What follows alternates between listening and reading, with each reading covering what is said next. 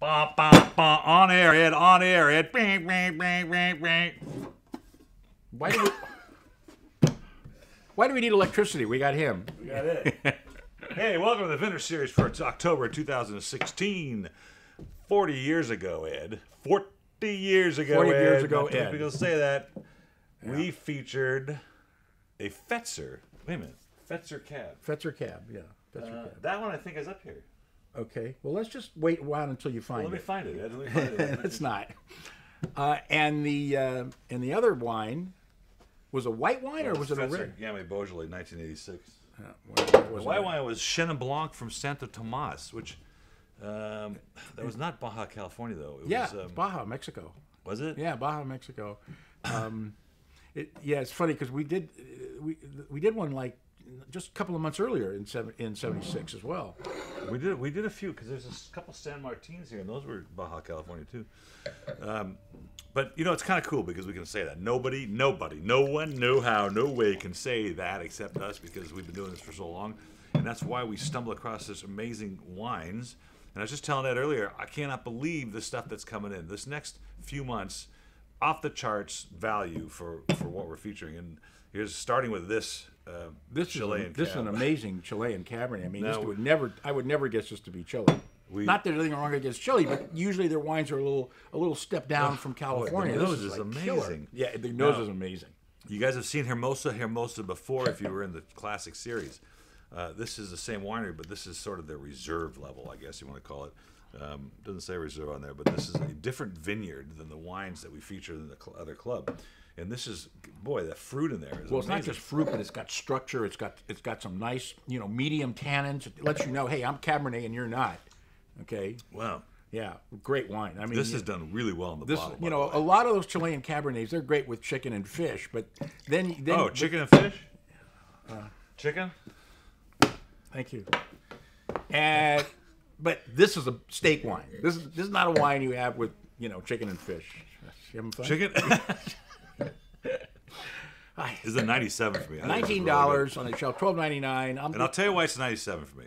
Not please, only why is it a ninety seven? Not only is it because a seventy nine, I'm a dyslexic. No, I'm kidding. Uh-huh. So, be- not only because it's um, Chilean, but it's the ca- the Cabernet style is great, Mm-hmm. and then that it's Chilean, and you don't get all that green olive, uh, you know, green pepper character you might get from Chile. You get a really balanced, almost Bordeaux like character out of this. you know it really does. Matter of fact, I would wonder if it has any Merlot or Cab Franc in there because it has that kind of complexity that you can't always get with So Cabernet. that's the way that is. Ed. That's the way that is, Paul.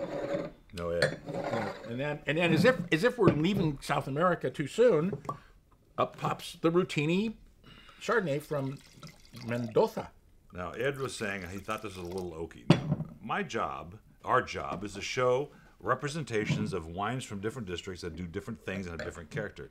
So this is the, the 2013 Rutini Chard, which is kind of cool because they, it's a huge, substantial bottle, by the way. They are oaking, doing a nice. I don't think it's too much oak at all. Well, you know, it's interesting because this is the second bottle I had, and it tastes different than the first one. The first one, I smelled a little bit of oak, which I do in the nose, but I don't get it in the mouth. no, the balance is really balance good. is really, really good. It's much better. As a matter of fact, the acidity on this bottle, bottle is much better. It's a full-bodied Chardonnay. It is. sure. It's it's nice. I mean, nineteen dollars is is typical, maybe a little lower than what you pay for a Chardonnay like this, especially in a bottle that probably costs six bucks. And I'm not kidding. the bottle probably costs six dollars, and then eleven ninety nine uh, reorder price. I'm actually going to do a ninety five. I'll go 95. The problem in general with Chardonnay, Pinot Noir from, actually, it just hit me, the Burgundy grapes from this part of the world have not tasted like the, their counterparts. They haven't even tasted like their wines.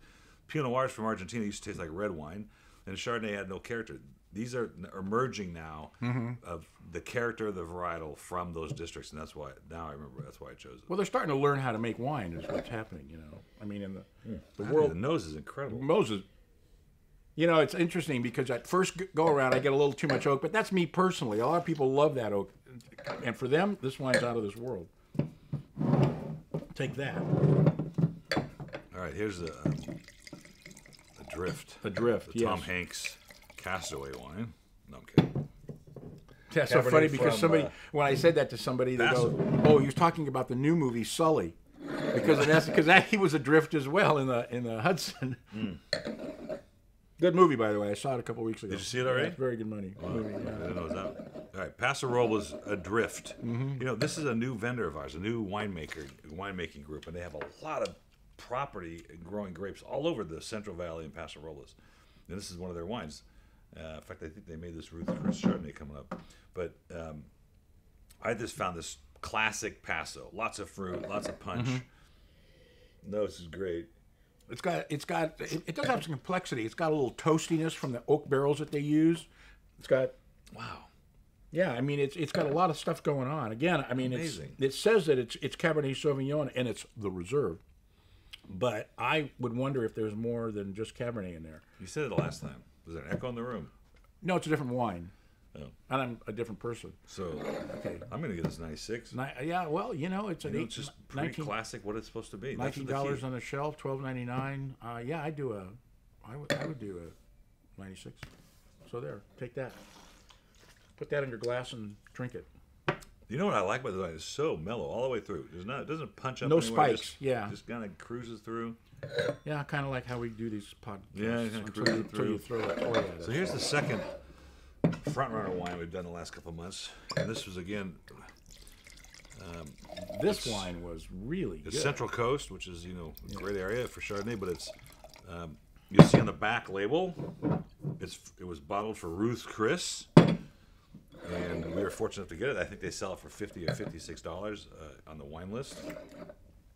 That's a glass, by the way. Boy, what a great This wine was really good. I mean, I was I was shocked at how good. This is such a classic Central Coast Chardonnay. It almost has elements of, dare I say, white Burgundy. It does. And You the know, malolactic. And know, the you got a full soil, body on it's the, got it's got that rocky sort of component that you get in really really good Chassagne Montrachet's Premier Crus, which are you know 60, 70 bucks. But today, right now, today, if you order now, eleven ninety nine on the reorder price. Hey, get it now. We'll send you two. Hey, wow. Say forty bucks. There you go. And Hey, it's eleven ninety nine for one or twenty four dollars for two. How about that? Ed? wow, you know, it's amazing how quickly he did that. Make them right here in America. Made right. Here. You know, we should be talking about that. Made right here in America. America. America. Merca.